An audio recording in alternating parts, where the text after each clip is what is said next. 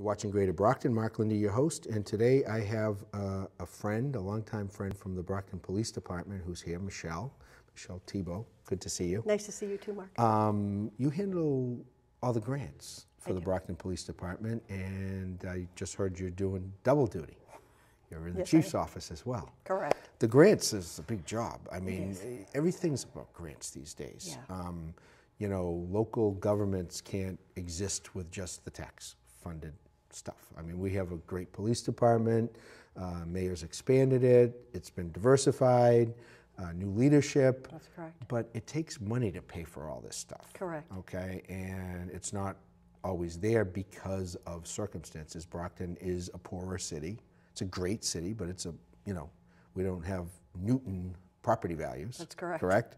Okay, so you are, um, you, you have a long-time grant, a, a, a, a jail arrest diversion program, Mm-hmm.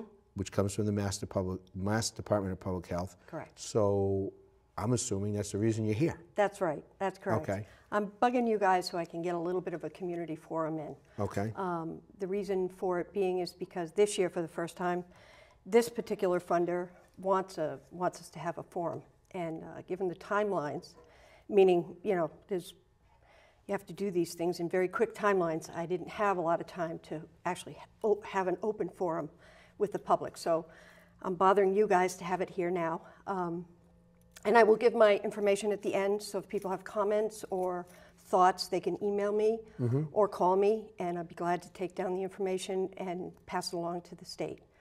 Um, so, yes, that's why I'm here. So the police department wants the public's involvement. That's correct. I know that I was involved years ago, and something that's coming back, which we're going to get someone on to promote, hopefully, about the um, the Citizens Police Academy. Oh, correct. I right. did that. I Yes. went on the ride along. I was there. I, I never thought I was going to fire a gun in my life, and I learned how to fire a, a, a Glock nine millimeter. Correct. Yep. Went over to that firing range Yep. uh, where you you hear gunshots at Massasoit, and the reason you hear gunshots at Massasoit is because you can hear them because they're over in the field. That's right. But um, so I, I think I just blew it. I, I gave away the name of the grant, That's okay. but it, it's funded through the Department of Mental Health. That's correct. And Okay. it's, we've had it since fiscal year um, 2011. Um, they are multi-year uh, grant sources.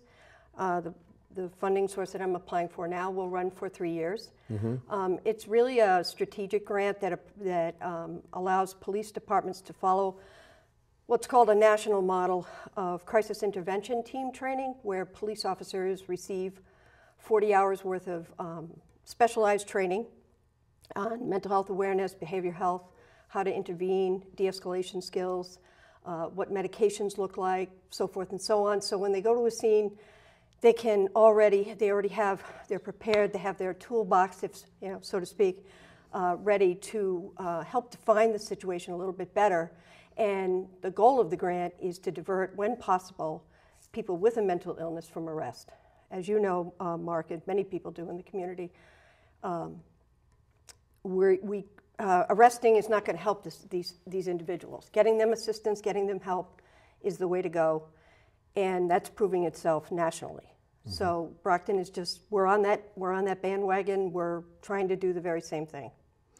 That's great um, because when people go out, I mean, police officers, they're not just law enforcement people. They're social workers. They're They don't like guidance admitting that, counselors. but yes. But they do every, and so so do so do firefighters too. When Correct. you go out on a rescue, I mean, the firefighters are also treating people that you know opiate overdoses. Of course. You know, the mayor when he came in here, I mean, the first thing I ever heard was about nasal Narcan. Yeah. And believe it or not, I'm glad I heard about it because my father took my mother's pain mil- pills and ended up having to be revived Wow. at 88 years old Wow. and didn't do any damage. That was in Easton with the Easton Fire Department. So, I mean, I always got brought up. My dad was in law enforcement for 36 years. I got brought up that police officers are your friends. Right. Okay, they're not your enemy. They're not here to hurt you unless you did something wrong to hurt somebody else. Right. Okay. Right. But people with mental illness, It's they no don't fault of their necessarily know the No. difference, and it is no fault of their own. Correct. So, what type of strategies um, can you talk to me about and explain, and, and, and why you or a committee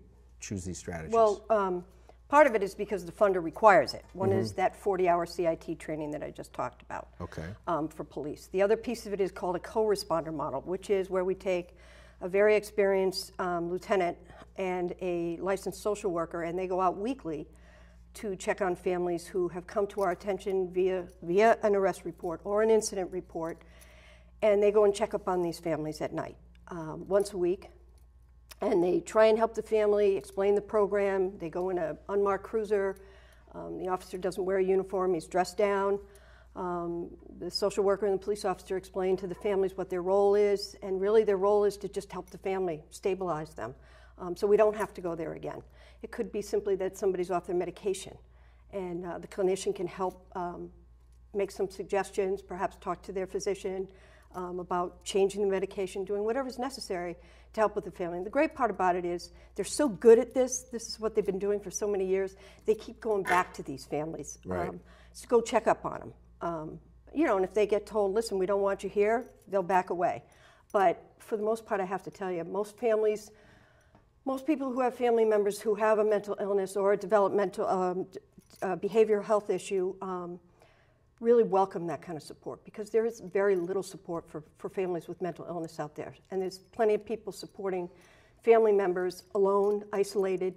Uh, once they get in trouble, you know, seems like they have to walk down the criminal justice path. We don't want them to come down our path. And, and it, it, it breeds other issues too, sometimes homelessness. Correct? Uh, you know, years ago, all the mental health facilities were closed in the Commonwealth. They Yep. went more to a community-based model, or unfortunately, a lot of people ended up out in the streets. Yes. So this this uh, might be a stopgap to make to allowing that to happen. It is. It, it really is. And it, it, the, uh, the Department of Mental Health statewide is offering these grants um, to many, many communities, and a lot of police departments are adopting these models. And in Brockton, the other, uh, just to go back to the strategies, um, we have the co-response, and then we have um, the officers themselves that are that are that receive this 40 hours of training are allowed to go out um, either usually after their shift, but during the day Yeah. or early evenings and go out and check up on some of the people they've run into and they've had encounters with to go back and, and, and make that connection on a different level and let them know that they they are trained, they're there to help them. They too will go back and check up on those families. So, I- you know, I had a brother who was mentally ill. I can't tell you how much this fulfills my bucket list of what things I like in life. So I'm really proud of the work that the department does and really ho- hopeful the state will continue to fund us. Okay, so we've scratched the surface. I just got the two-minute cue, but I gave you a minute of that, so we got one left, believe it or not. So given this work in the past, have there been any feed, has there been any feedback about it from the community, stakeholders, or the elected officials? I, I know the councilors deal with the budget and the mayor deals with the budget, so. I have uh, reached out to every city councilor um, via email and explained the whole program to them, and I have heard from a few of them. They've given me wonderful feedback, um, all in support of, of this initiative. Um, sometimes silence is golden. It means just keep on going. I know that. I get that. Um, but I haven't had any negative response at all. I, you know, I think when people learn about it, they're actually really surprised. Your police department does something like this? Yeah, and we're pretty proud of it. If anyone has any questions for you, email, phone number? So email is mthibeault, so that's M T H I B E A U L T at Brockton Police, all one word, dot com. mthibeault at brocktonpolice.com. And my telephone, my direct number is 508 897 5350. If you have any questions or thoughts or concerns, um, please call me.